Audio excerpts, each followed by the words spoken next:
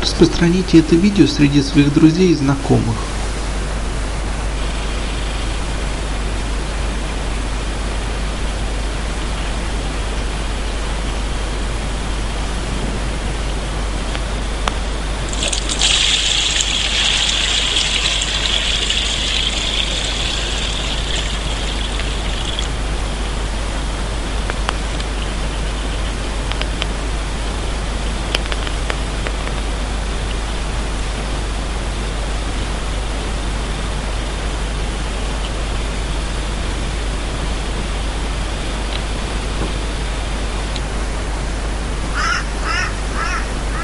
Технология водяных батарей является наиболее эффективной технологией преобразования воды в полезный топливный газ.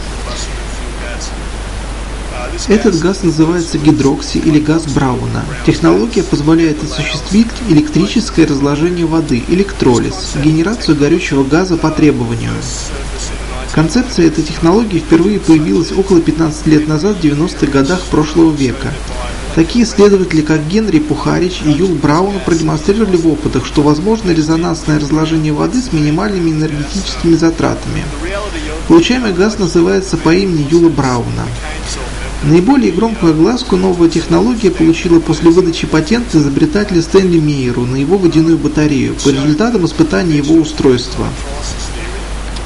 Изобретение Стэнли Мейера показало неполноту современных теорий электролиза воды. Мейер продемонстрировал на опытном автомобиле возможность генерации топливного газа при помощи стандартного напряжения 12 вольт и очень небольшой силы тока.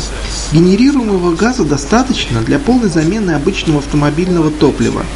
Данный процесс по-прежнему рассматривается как невозможный с точки зрения современной науки. Как оперный певец разбивает бокал тоном и силой своего голоса? Он подбирает частоту таким образом, чтобы она была в резонансе с собственной частотой колебаний бокала, что и разбивает стекло. Это простой пример того, что сделал Стэнли Мейер. Он использовал ток высокой частоты, который совпадает с резонансной частотой молекул воды.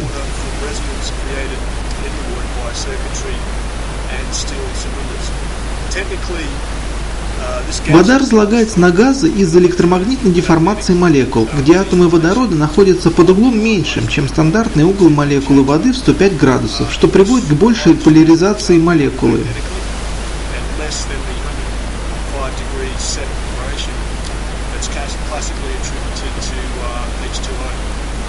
Дополнительная поляризация воды приводит к большей силе взрыва образовавшихся газов при их сжигании в двигателе автомобиля.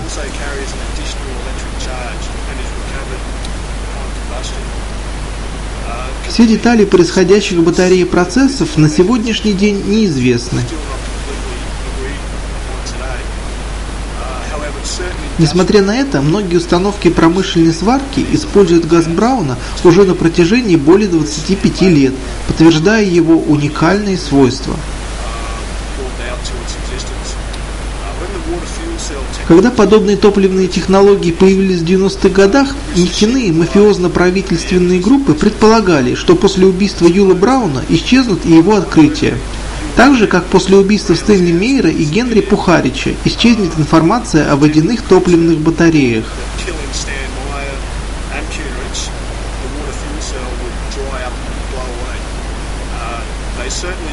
Коррумпированные власти полагали, что после убийства этих трех изобретателей изобретения будут утеряны. На федеральном уровне нет законов, на деле защищающих интересы общества в распространении свободной и чистой энергетики.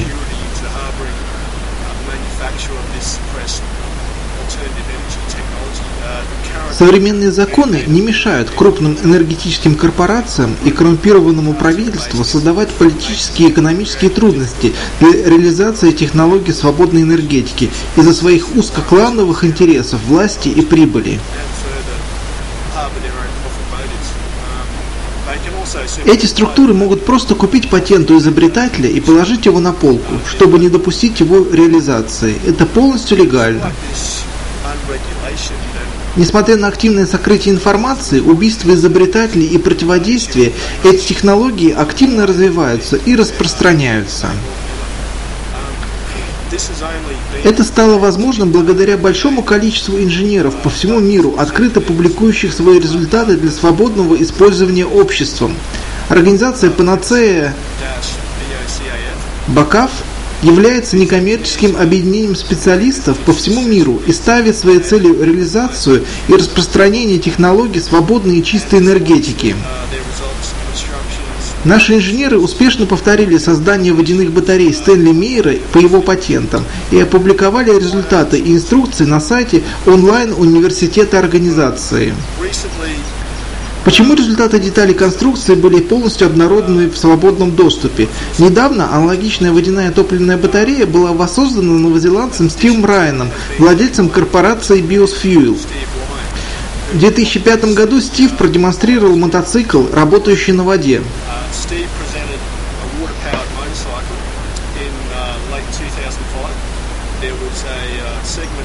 Мотоцикл и технология была продемонстрирована в новозеландской новостной передаче «60 минут».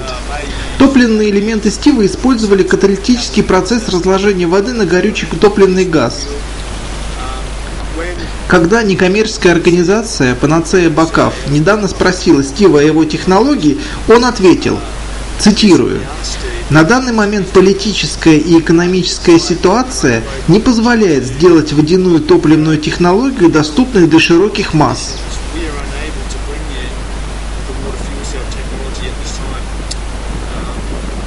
Сегодня существует сильное противодействие новым технологиям чистой и доступной энергетики. Стэнли Мейер умер от неизвестного пищевого отравления. Два других изобретателя также были убиты. Компания Exogen и Blacklight Power плюс четыре другие компании имеют работающую технологию водяных топливных батарей для генерации водородного газа в необходимых объемах. Очень интересная технология низкозатратного разложения воды была запатентована профессором Филиппом Михайловичем Конаревым из Кубанского аграрного университета России. Все обладатели технологий не в состоянии массово внедрить свои изобретения. Таким образом, как довести эти изобретения до широкой общественности?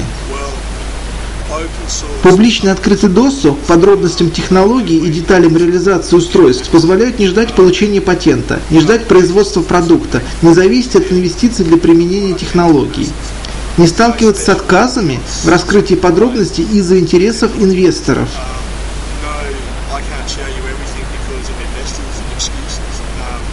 Таким подходом сдержать распространение новых технологий невозможно.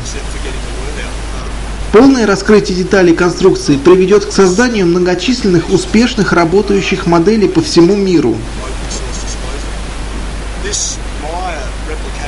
Водяная топливная батарея Мейера может быть установлена на борту любого транспортного средства, как небольшое дополнительное устройство, питающееся от электрики автомобиля и позволяющее использовать воду как топливо. Взрывная водородная газовая смесь генерируется только в необходимом для двигателя количестве и сразу же сгорает в двигателе, что освобождает от необходимости ее промежуточного хранения. Таким образом, можно сжигать обычную водопроводную воду в любом двигателе внутреннего сгорания, турбине, форсунке или горелке. Смесь генерируется по мере необходимости в реальном времени, без дорогой транспортировки сжатого или жиженного водорода, дорогих катализаторов и металлгидридов. Продуктом взрыва является водяной пар, который при необходимости может быть легко сконденсирован в радиаторе и повторно использован в двигателе.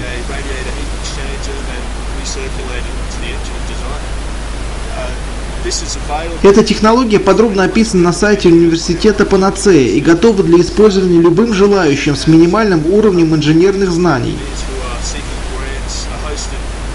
Университет объединяет сотни дипломированных инженеров, готовых помочь советам при возникновении трудностей в реализации.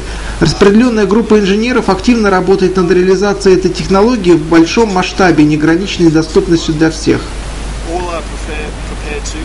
Все участники нашей организации открыты для сотрудничества в рамках некоммерческих исследовательских проектов.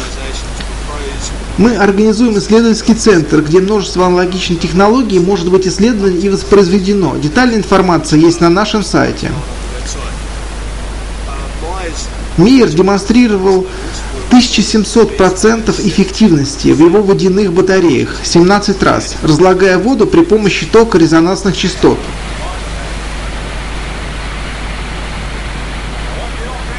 Как батарея на ощупь? Батарея совсем не нагрелась, на ощупь прохладная.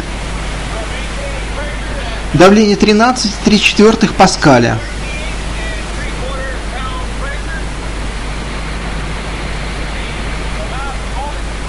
Потребляемая мощность, посмотрим на мультиметр.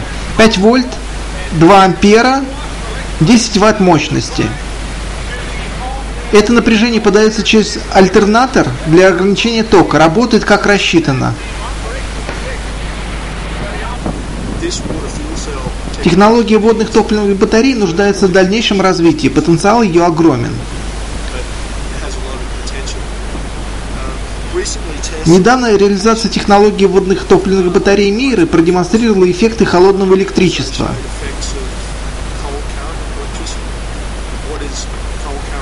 Что такое холодное электричество? Это технология, запатентованная Эдвином Греем в его двигателях рассеянной энергии. Помощью этого электричества Эдвин мог зажечь электрическую лампу под водой.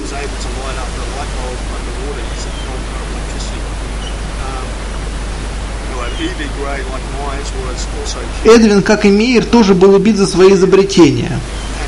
Мы в университете Панацея считаем, что необходима социальная реформа для обнародования и реализации новых общественно полезных технологий неограниченной чистой энергетики.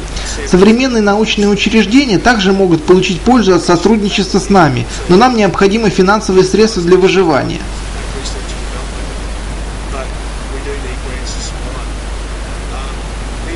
На данный момент любой может собрать водную и топливную батарею Мейера по чертежам и инструкциям с нашего сайта. Распространите это видео среди своих друзей и знакомых.